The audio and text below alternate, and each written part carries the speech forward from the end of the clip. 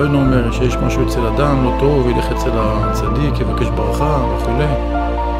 עם ישראל, עם תמים, עם של אמונה, עם סגולה, תמיד ביקש ברכות מהצדיקים.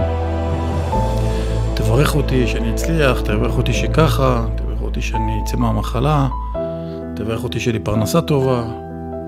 עם ישראל ידוע בזה. פתאום נפל בדעתי פשטות שכל הברכות שברכו הצדיקים כל הדורות, זה היה, זה היה בחינת ברכות להמשיך רחמים, מה הרחמים הפשוטים? כי זה בהכרח התורה היא ד', ד' עולמות, וזה הכוח שהיה בידן להמשיך רחמים על הבן אדם שהתפללו בעבורו מערכים הפשוטים.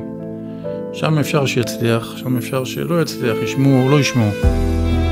אבל אתה שהתגלה מבחינת צד צפון, תורה צפונה, שנותנת מענה לחלל הפנוי, כי אומר רבנו בכמה תורות, אין הדבר נמתק אלא בשורשו.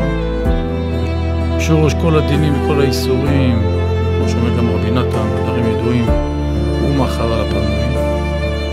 כן, הה' שהיא החלל הפנוי ביסוד התורה שבחלל הפנוי, תורה צפונה, ה', ודאי שזה שורש, משם השורש כל הדין והאיסורים, משם ההמתקה כל האיסורים.